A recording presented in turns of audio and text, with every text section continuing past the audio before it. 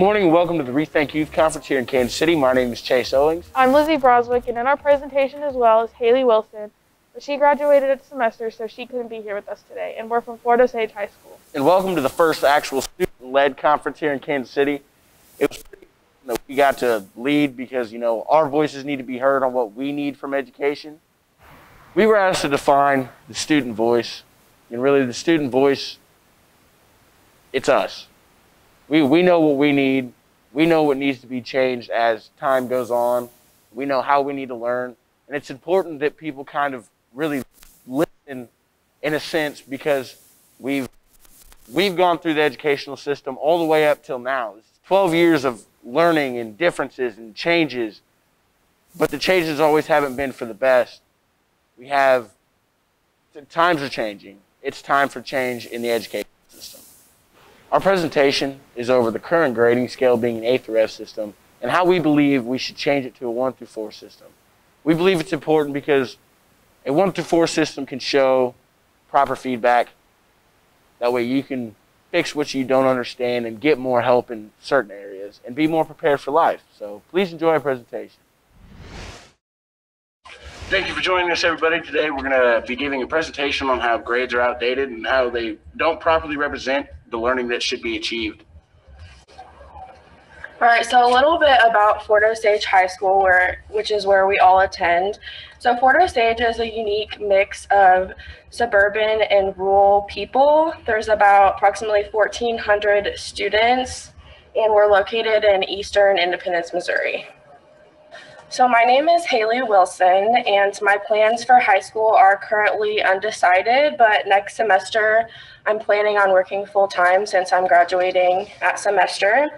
And this project has helped me learn how to research more thoroughly and has taught me how to use my life experiences throughout high school to teach others.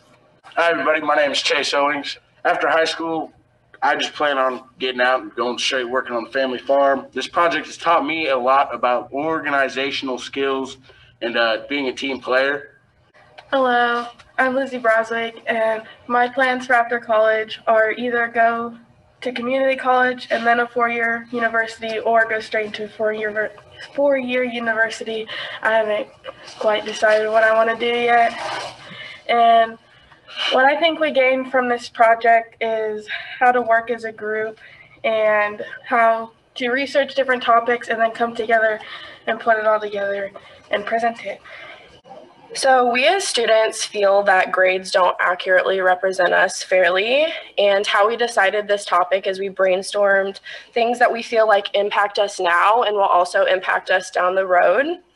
We think this is important because grades affect us throughout our entire high school experience as well as college and where our future will take us. All right, so our problem statement is that the grading scale doesn't accurately reflect a student's mastery of a subject. And in quotes, for all the time, effort, time, and best intentions teacher invest in the reams of grade reports.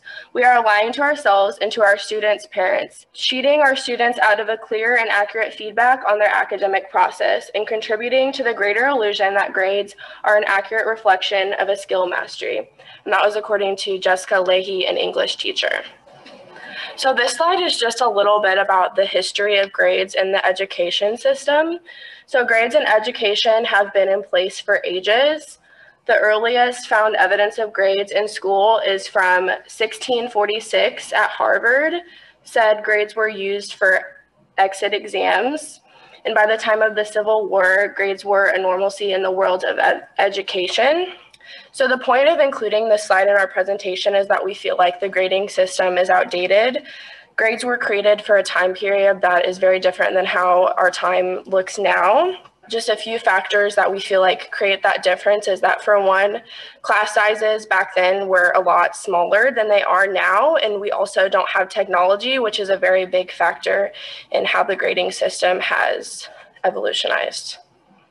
So, as high school students, we have realized that grades impact many different areas of our life now and down the road. So, grades can affect things like college admission. The better your grades are, the more likely you'll be admitted into a college. They affect sports eligibility in high school and in college because typically they don't go for the players that have the worst grades. And then they also affect scholarships. Typically, if you want to get a decent sized scholarship, you have to have a certain grade point average.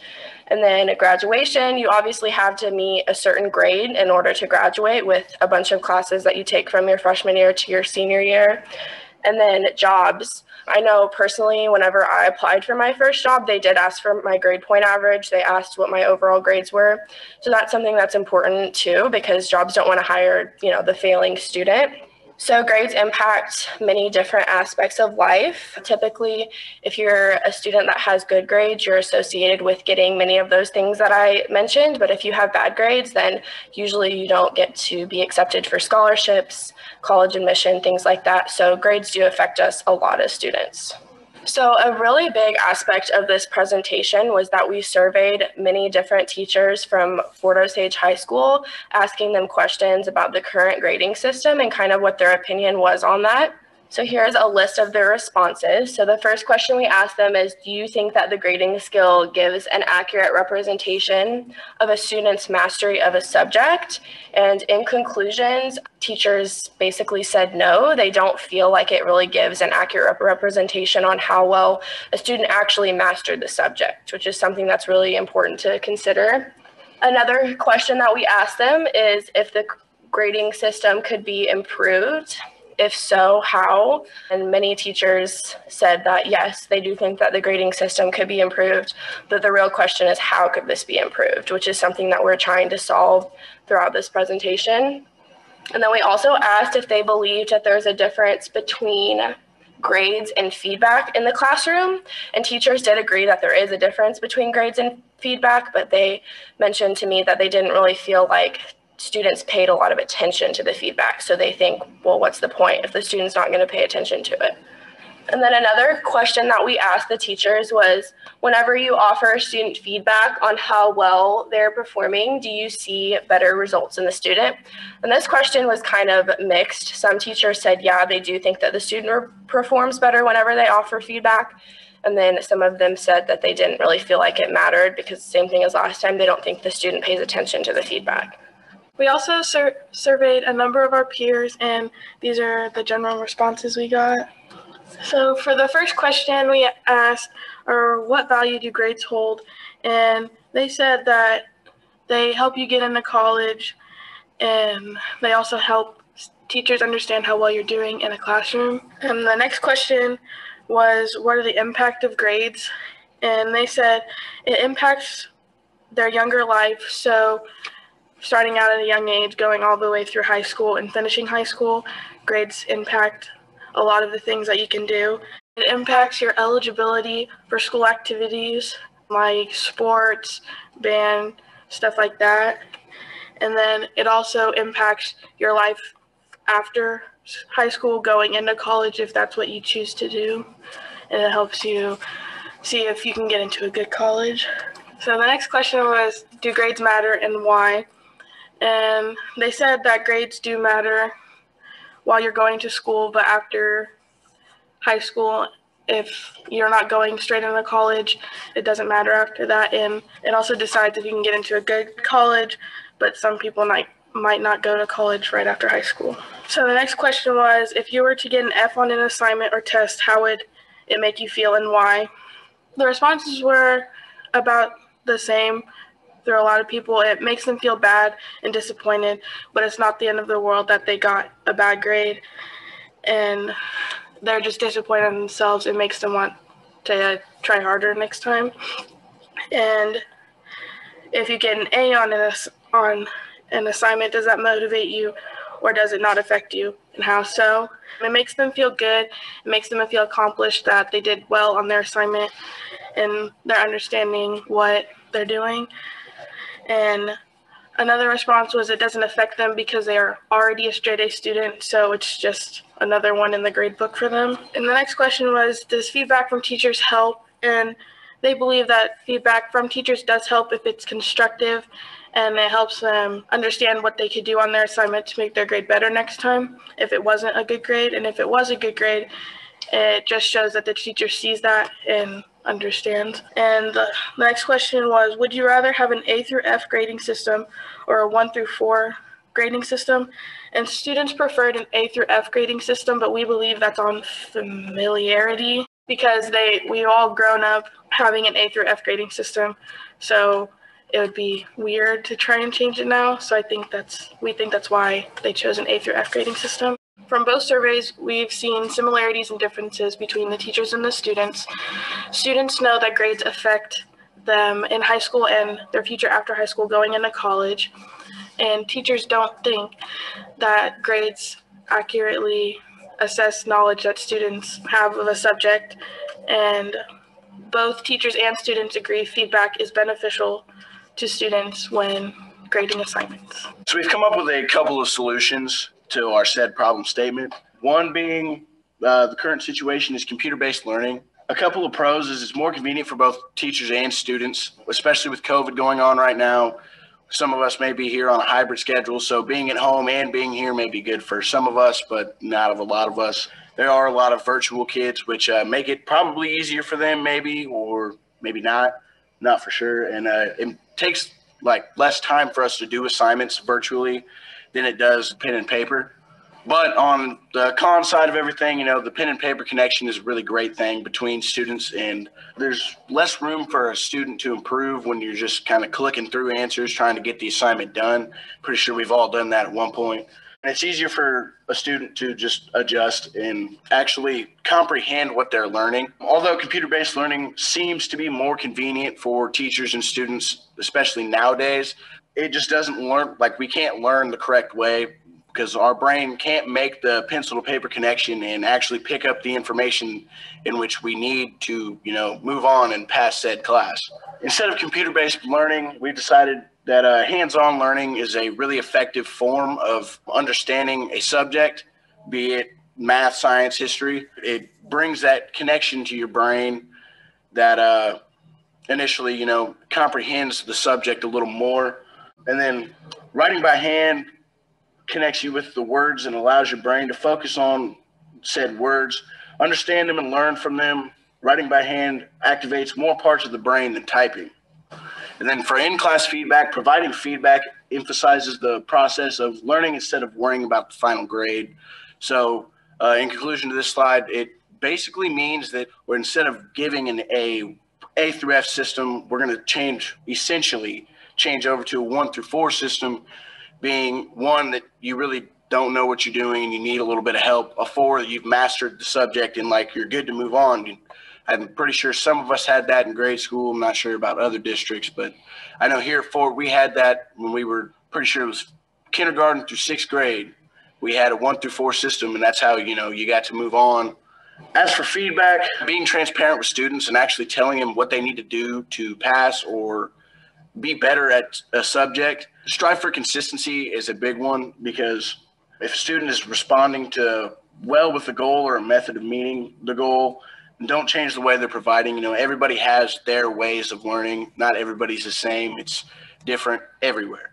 Teachers can offer a student more feedback tailored to their specific needs in hopes to help a student better comprehend what areas of improvement they need in a sense, just teachers need to be more specific on what goals we need to accomplish to be able to move on, as well as like presenting the feedback carefully. I know some of us don't really take constructive criticism.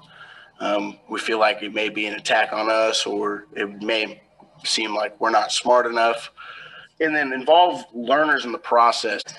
So, our proposals instead of letter grades, we'd like to see a system based on hands on learning, a one through four system kind of uh, encouraging a uh, deeper depth of learning and consistency.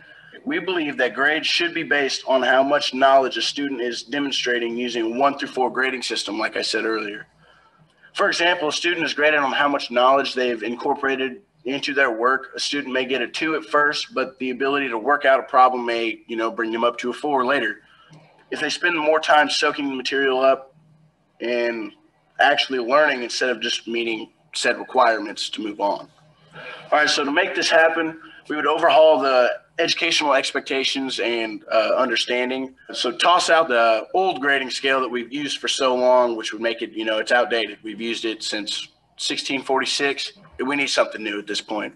We need to make sure that everybody is actually learning every subject so we're actually prepared for the real world. And then define examine and implement specific standards, which is like develop and spend time understanding a specific state or district's standard requirements.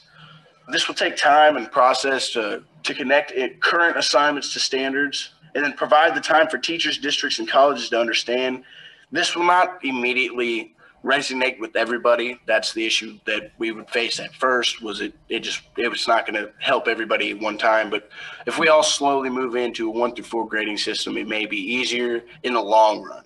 And then our goal is ultimately we want to see future students succeed in classes based on their knowledge, not jumping through hoops and completing assignments simply for a grade. We'd like to see districts implement plans to allow successful students to reach standard requirements and not necessarily course requirements. Uh, we would like to say thank you for allowing us to do this presentation and for joining us. And if you have any questions, feel free to join the discussion board. What we expected going into this presentation was that more students would like to change from an A through F grading system to a 1 through 4 grading system. But what we learned was more students would like to stay with an A through F grading system instead of switching to a 1 through 4. But we believe that it'll impact education positively if we switch to a 1 through 4 because it'll help students know where they're struggling more and help show teachers where they can give feedback to students and help them improve to the next level. We hope that if you're a leader at your school that you would revise our presentation and see where you can implement any of these to your curriculum. And if you're a student, we would like if you would talk to your principal to see if you can help them implement any of this into their curriculum. And we are now open for questions.